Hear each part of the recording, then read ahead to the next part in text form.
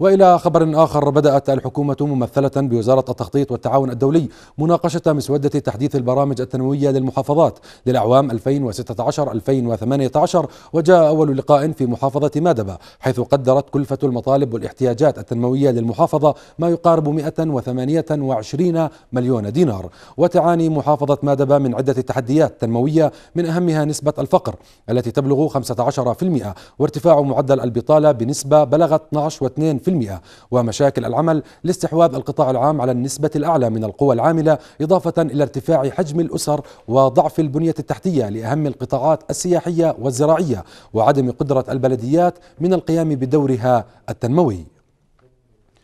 وزير التخطيط والتعاون الدولي عماد الفاخوري قال خلال لقائه المجتمع المحلي في مدبة إن المبالغ التي تم تخصيصها للمحافظة وزعت على كافة القطاعات حسب الأولويات خاصة قطاع التعليم والصحة. وبين أن الوزارة ستقوم بالتنسيق مع مختلف الوزارات والمؤسسات الحكومية بالبحث عن إمكانية تمويل مشاريع المحافظة من المصادر المالية المتاحة كالمنح والقروض.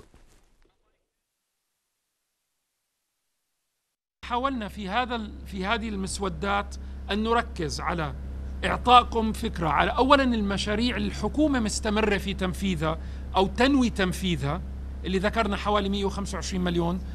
أرجو مراجعه هذا باعتقادكم في مشروع جديد ليس أولوية. بهمنا نعرف منكم لأنه ناخذ هالأموال هاي المرصودة له بنوجهها لأولوية أخرى غير ملباة. فهذا بدنا دعمكم فيه في هذا الموضوع.